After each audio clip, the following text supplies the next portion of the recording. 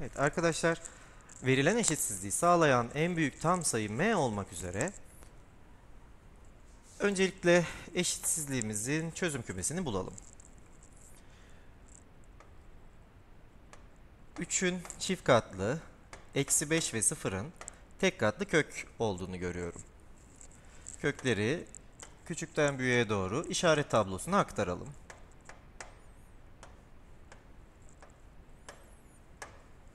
Sistemin işaretine baktığımız zaman artı olduğunu görüyoruz. Paydadan gelen 0 çözüm kümesine dahil olmayacak.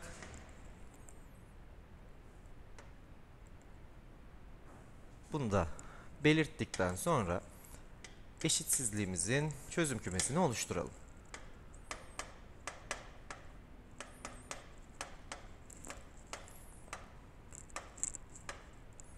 Çözüm kümesini incelediğimiz zaman eşitsizliği sağlayan en büyük tam sayı değerinin 3 olduğunu görüyoruz.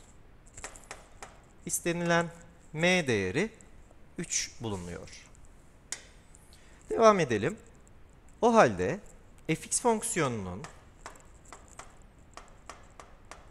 alabileceği değerin daima m'den büyük olması için arkadaşlar karşımızda ikinci dereceden bir fonksiyon var ve bu fonksiyonun daima pozitif olması isteniliyor.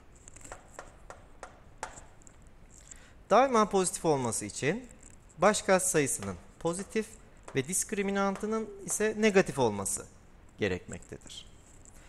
İfadenin diskriminantını yazıyorum. b kare eksi 4ac sıfırdan küçük olacaksa n karenin 0 4'ten küçük olması n'nin eksi 2 ile artı 2 arasında değer alacağını görüyoruz. Buna göre n'nin alabileceği en küçük tam sayı değeri eksi 1'dir. Doğru cevap C seçeneği.